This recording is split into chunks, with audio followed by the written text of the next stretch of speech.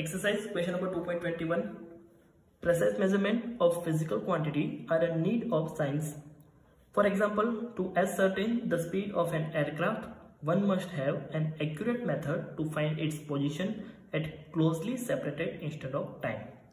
This was the actual motivation behind the discovery of radar in World War II. Think of different example in modern science where precise measurement of length, time, mass, etc. are needed. Also, wherever you can give a quantitative idea of the precision needed. यहाँ पर हमें कुछ ऐसे examples देने हैं जहाँ पर physical quantity का प्रेसाइज मेज़रमेंट रिक्वायर्ड होता है It is indeed very true that precise measurement of physical quantity are essential for the development of science. Science के डेवलपमेंट के लिए प्रेसाइज मेज़रमेंट बहुत ही यूजफुल है।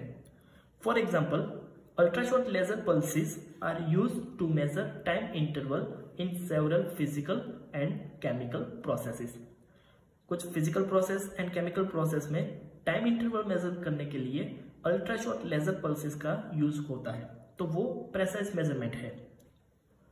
X ray spectroscopy is use to determine the inner atomic separation और inner planar spacing कोई दो atom के बीच का सेपरेशन डिस्टेंस फाइंड करना है, दो प्लेन के बीच का स्पेस फाइंड करना है तो उसके लिए एक्सरे स्पेक्ट्रोकॉपी यूज़ होता है।